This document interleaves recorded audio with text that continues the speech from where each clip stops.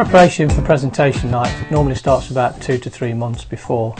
Um, photographs is the first thing. We normally take about 750 photographs, which sounds a lot, but lots of closed eyes, lots of blinking, looking the other way. And we normally use about 150 on the night.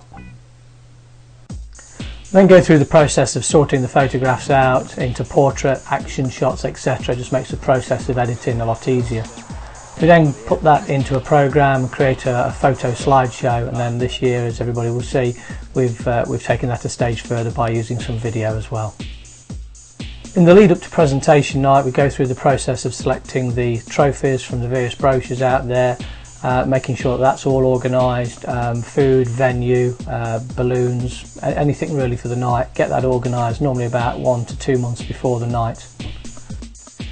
Probably the most time consuming um, aspect of presentation night is the slideshows, taking the photographs, doing the, the, editing and this year we put videos in as well.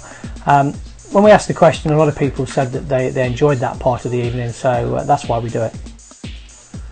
Once we've done all the videos and the PowerPoints and the music stabs for the evening, um, we need to go through a dry run. a lot of equipment's involved in, in presentation night. Um, I think we had three computers last year, I think we may be using four this year uh, hundreds of meters of cable, lots of switches, um, video switches, audio switches and projectors. So there's a lot of things to go wrong.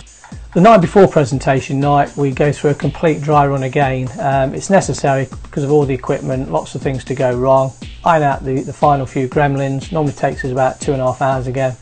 Quite a stressful night, uh, normally the night before presentation night Mrs B leaves the house for the day. Um, and we basically make sure everything is working, all the equipment's working. We then pack it away and obviously bring it to the venue um, on the night of presentation night, on a couple of hours before, set everything up, test everything, and then uh, keep his fingers crossed basically.